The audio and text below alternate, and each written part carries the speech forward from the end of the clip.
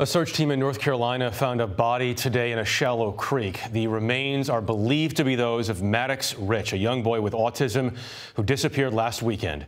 Here's Manuel Bojorquez.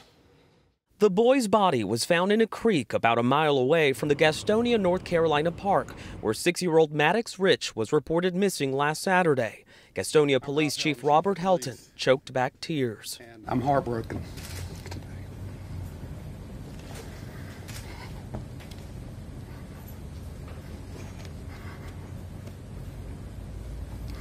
Our community's heartbroken. The FBI said the discovery does not end its investigation. What is your investigation looking to answer right now? Effectively, where did he enter? How did he get there? What was the manner of death? What was the cause of death?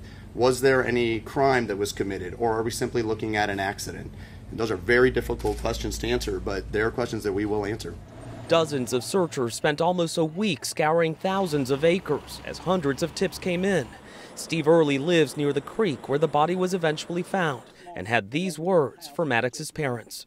We'll be praying for you. Me and my wife's praying family. We'll be praying for you. Late tonight, Maddox's father, Ian Ritch, put out a statement saying, I would do anything to go back and save him. Investigators say they would still like to speak with anyone else who was at this park at the time of the disappearance. They do not believe the body flowed from the park's lake into that creek, but said there is a pathway Maddox could have taken. Jeff? All right, Manuel's in Gastonia, North Carolina for us. Thank you.